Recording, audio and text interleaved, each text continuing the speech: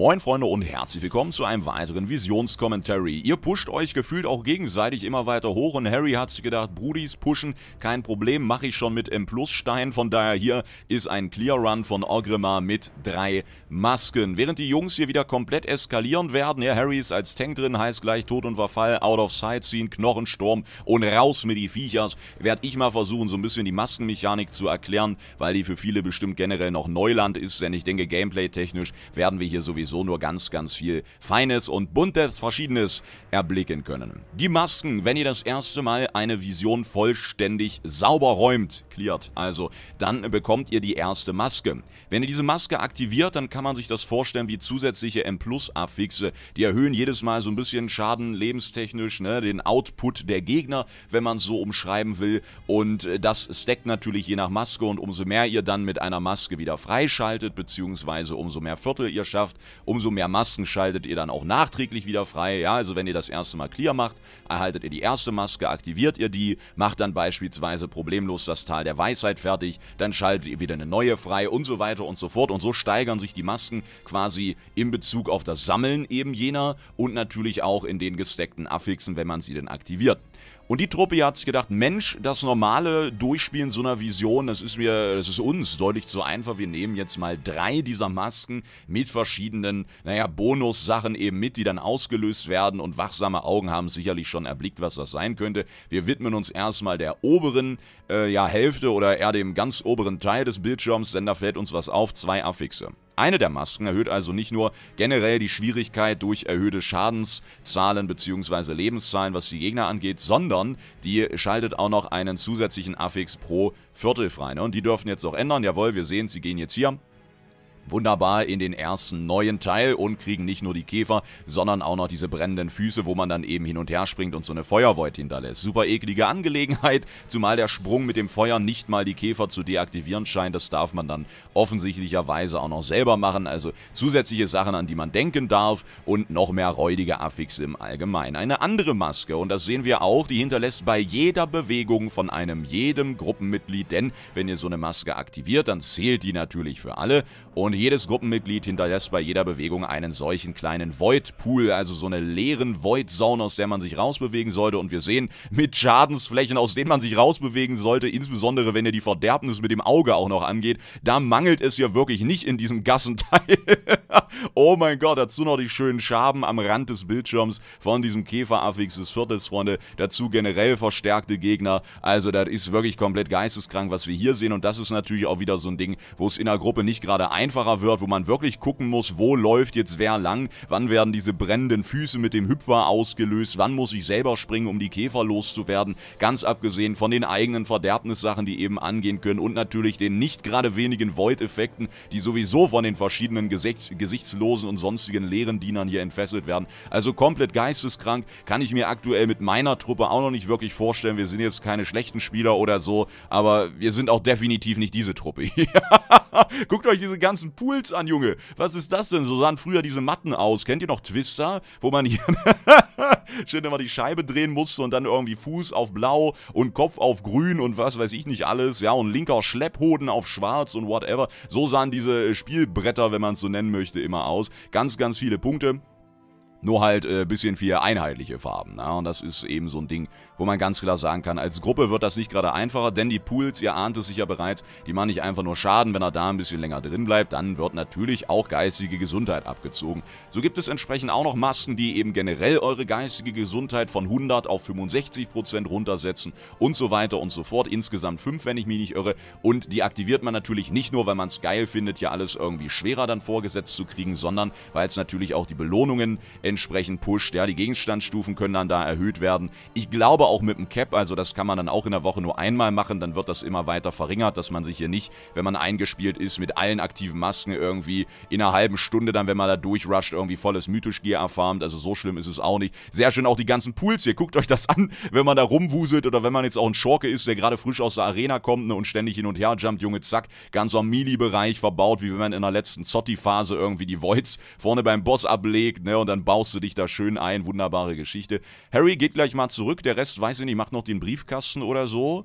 Weiß nicht genau, was sie hier jetzt vorhaben. Der nächste Affix ist auf jeden Fall auch am Start, wieder gedoppelt mit der gespaltenen Persönlichkeit. Ach, er hat noch eine Truhe erspäht hier. Jawohl, das Tolle ist, Hänsel und Gretel-Style, aufgrund dieser ganzen Voids, ne, verirrt man sich natürlich nicht. Man legt so eine eigene kleine Brotkumen, äh, Kumen, Alter, eine Krumenspur der Leere. Großartig. Passende Mount hat er ja auch vom Zotti-Kill. Von daher scheinen sie auch mit der Mechanik, die ich eben angesprochen habe, nicht so die Probleme gehabt zu haben. Oh, und jetzt hier auch ein Gewusel, liebe Leute im Rahmen der Pools ist natürlich mega ekelhaft, ne? da bist du dann desorientiert. Das ist generell nicht so schlimm, aber der Kram, der dich in dieser Zeit treffen kann oder der Kram, in dem du in dieser Zeit rumwuseln musst, ist natürlich alles andere als lecker irgendwelche Rückstoßeffekte und Co. Ja, vielleicht auch ein eigentlich gut gemeinter Glaubenssprung vom Priester, der der retten sollte. Antimagische kann man ziehen, negiert vollständig den Effekt von der gespaltenen Persönlichkeit, genau. Und was mir gerade aufgefallen ist, wir haben sehr schön über die Masken geredet, Freunde. Ich habe die dritte noch nicht erwähnt und da hat Harry auch gesagt, du, äh, ich habe ihn auch gefragt, du, was, was ist denn die dritte?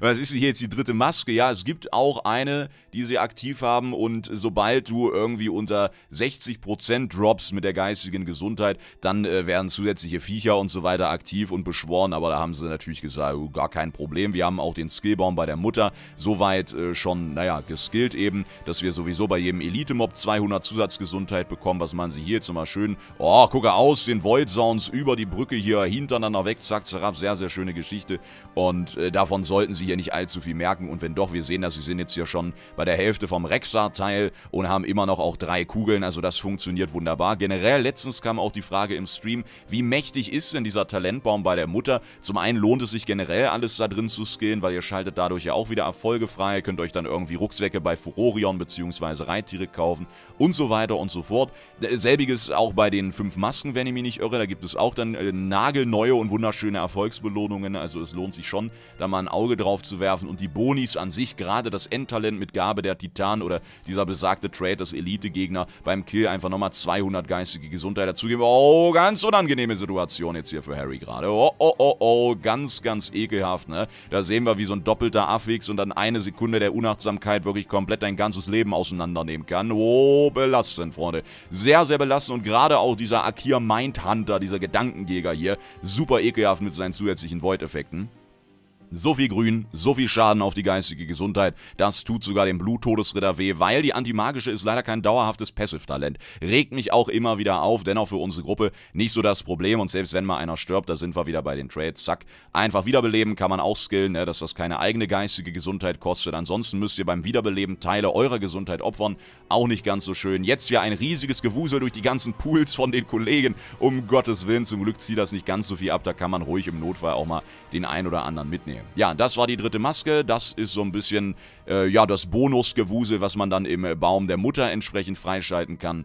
Und das sollte man wirklich tun, zumal diese Gabe der Titan als Endtalent, oh, ganz ekelhafte Position für einen Vier. Freunde, diese schwarzen Flammen, die sind wirklich sehr, sehr ungesund, aber auch das war auszuhalten für unsere Truppe hier. Sehr schön einfach, ne, mit dem Kopf durch die Schattenflammenwand, man kennt es.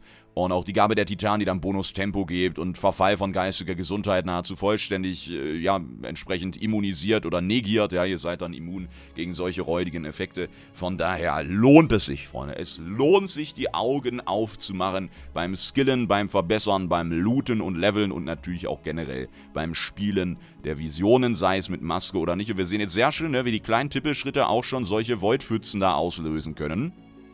Und das ist natürlich belastend, zumal wir auch früher oder später moven müssen. Ich bin auf den Endkampf sehr gespannt. Ich meine, schadenstechnisch sehen wir hier, ob Rexa jetzt irgendwie auch gebufft ist oder nicht. Das ist unserer Truppe relativ egal. Noch schön ein paar Verderbnislaser mit drüber, Drachenodem und Co. Die Schweine ein bisschen CC, ein bisschen kicken und wenn Rexa dann umgeroffelt ist, dann sollte es das an dieser Stelle auch gewesen sein. Die Schweine an sich sehr gefährlich, Freunde. Die sollte man unterbrechen. Die sollte man auch im Endkampf gegen Thrall unbedingt zuerst wegrömmeln. Sollte man nicht in der Lage sein, die ständig durchzuCC oder whatever weil die casten auch und das nicht zu knapp und auch das zieht natürlich nicht nur das normale Leben ab. Es geht zurück, eine Kugel haben sie jetzt benutzt, wir sehen aber durch den Rexer-Kill eigentlich sofort wieder 200 plus auf Nacken, das heißt vor dem Kill wie nach dem Kill verfügen sie hier über nahezu vollständige geistige Gesundheit und können sich jetzt den nächsten Vierteln widmen und wir sehen schon hier wieder sehr genau, wie man hier äh, gelaufen ist. Die Pools, die sind deutlich sichtbar und stellenweise sogar so übereinander gelappt. Wir haben es eben gesehen, Harry macht einen Schritt, zack, 15 Gesundheit weg. Ne? Leck mich doch, hat er vor ihm getan. ja, wie, bei, wie bei Mario Kart, eine Banane gelegt. Ne? So schnell kann es dann gehen. Es geht zu Zickern. zum guten Sekan, wo man auch wieder durch Positioning die ein oder andere Sekunde sparen kann ähm, indem man genau hier zum Beispiel den Kollegen hier hinten bekämpft und nicht da vorne, denn Zekan läuft sonst immer wieder zu der letzten Position. Wenn ihr den also in-Fight haltet und bekämpft hier vorne erst die kleinen leeren Diener und zieht ihn dann quasi vor zu diesem großen, lustigen, gesichtslosen Koloss der Farbe Rot, ja, ganz seltenes Exemplar, dann läuft er wieder zurück zu der Ausgangsposition, wo der Fight eben für ihn begonnen hat. Also auch da kann man ein paar Sekunden sparen. Bei uns bisher egal, weil wir nicht zuerst das Zekan-Schamanenviertel, sondern das andere mit Gejag Clara und den Elite-Gesichtslosen gemacht haben, aber so, ja, wir sehen es jetzt auch hier bei, wir sehen es auch jetzt bei unserer Truppe, ne, die machen dieselbe Erfahrung gerade, dass Sekan jetzt erste Mal zurückgelaufen ist und erst jetzt so ganz langsam angetippelt kommt mit den Dunkelsperr-Elite-Soldaten und jetzt ist hier erst offen. Ist jetzt eine Sache von wenigen Sekunden gewesen, aber wir wissen als M-Plus-Spieler, als jemand, der gerne die Vision auch mal schnell durchpimmelt, sind das Sekunden, die kann man eben einfach mitnehmen, indem man den Boss dann etwas weiter vorne bei Zekern eben spielt. Der chargt ja eh wild durch die Gegend, ne, und bevor es dann da zu längeren Komplikationen kommt, dann einfach in Richtung Anfang ziehen den Kollegen. Ja, Freunde, äh, was soll ich noch sagen? Das war eigentlich alles soweit zu den Visionen jetzt. Ne? Wir haben uns genauestens angehört und angesehen, was die Masken jetzt können. Ich habe ein bisschen darüber gesprochen, wie wichtig der Baum ist. Das sollte man definitiv im Hinterkopf behalten. Und auch wenn man da Probleme hat, kann man auch die kleinen täglichen Visionen in Uldum und im Tal der ewigen Blüten eben benutzen, um solche Mementos, diese Marken eben zu sammeln. Und wie, wie viele Münzen gibt es jetzt hier zum Beispiel mit den Masken? Wie, wie viel waren das? Das war auch irgendein zweistelliger simpler Bereich, ne? Da hätte ich jetzt auch gedacht, dass sie komplett eskalieren, wenn man es hier mit diesen Bonus-Affixen spielt. Auch in diesem Viertel wieder zwei, die brennenden Füße und diese Käferplage.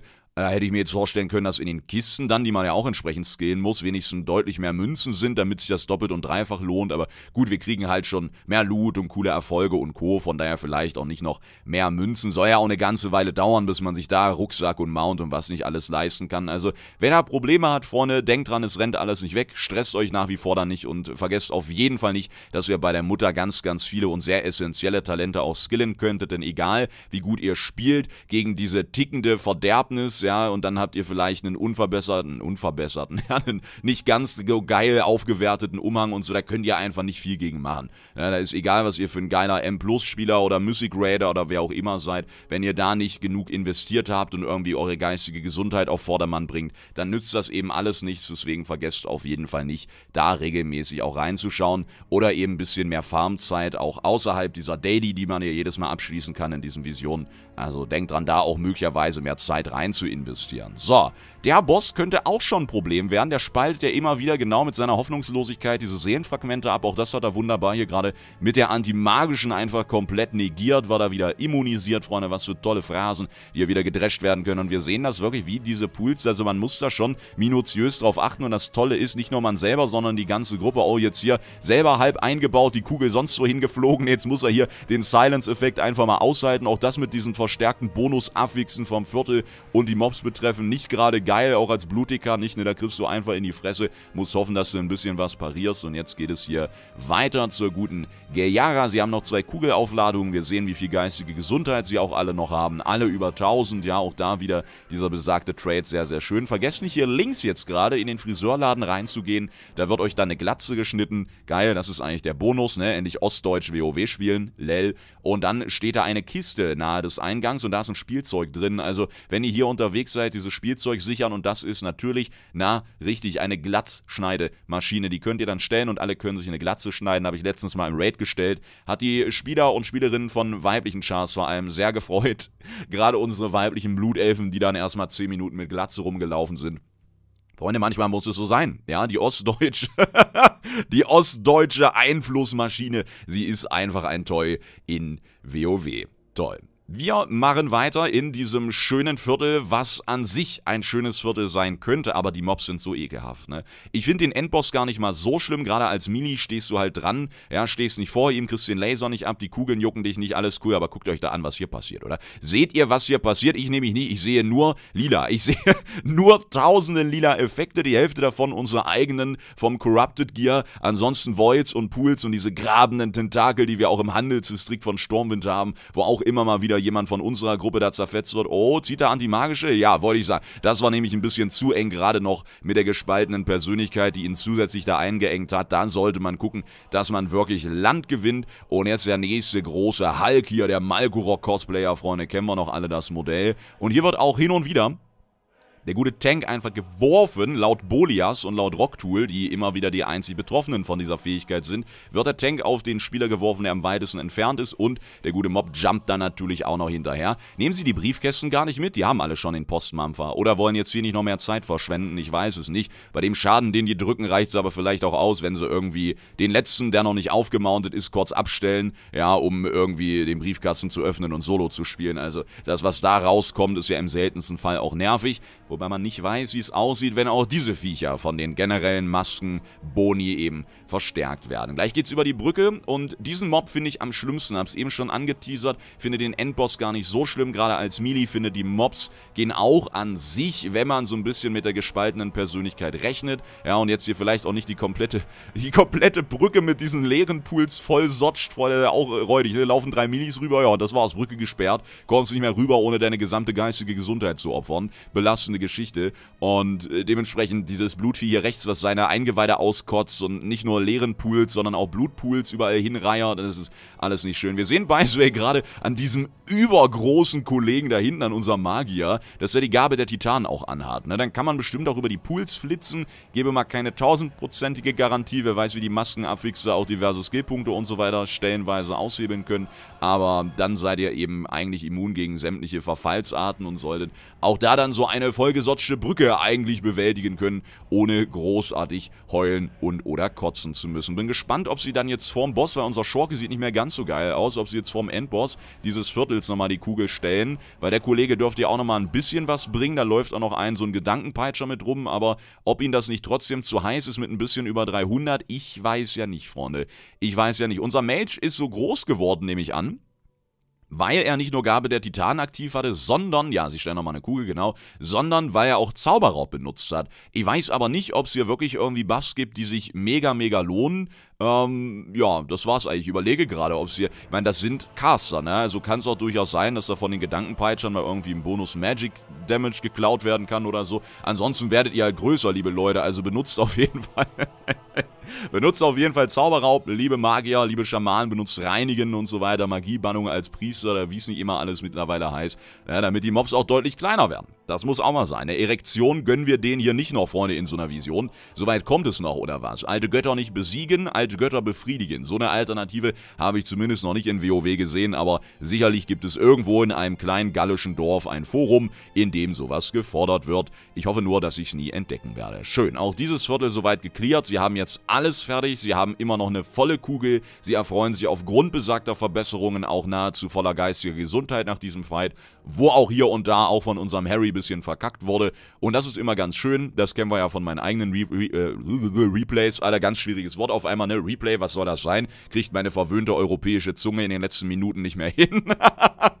und da passiert das einfach, ja. Je länger die Zeitachse, Freunde, umso höher steigt auch die Wahrscheinlichkeit, dass irgendwer irgendwann mal verkackt. Und wir haben in all unseren Replays gesehen, dass man auch als Nicht-Maschine, als nicht komplett perfekt programmierter Bot hier alles bewältigen kann, selbst wenn es hier und da kleinere Probleme gibt. Oh, sie wollen ihn hier vorne jetzt machen und den Kugelbonus noch mitnehmen, damit sie überall stehen bleiben können. Das ist clever, weil die Kugel regeneriert ja wirklich so lange, wie sie steht, kann aber nur Outfight gestellt werden. Deswegen pullen sie jetzt dazu, aber wir sehen schon mit den Schweinen, mit den Fähigkeiten von Thrall, Brawl, ja, mit, mit der Hoffnungslosigkeit, die jetzt kommt, wo sie Kugeln wieder suchen müssen, dann jumpt er bestimmt gleich in die Mitte, jawohl, dann geht dieser lustige Wirbel von außen nach innen oder andersrum los. Die Schweine haben sie vorne gleich weggelasert, ist natürlich super. Höllenbästchen rein, AOE, ja, der ein oder andere Zwielicht-Verwüstungslaser, der hier schon durch die Gefilde zieht. Und dieses Schild finde ich super stark und das haben sie, glaube ich, gerade auch nicht kaputt bekommen. Und da können wir uns anstellen, wie wir wollen, egal welcher Affix auch in diesem Viertel ready ist. Wir kriegen dieses Schild bei dem Mob in der Gasse mit Garona absolut problemlos down.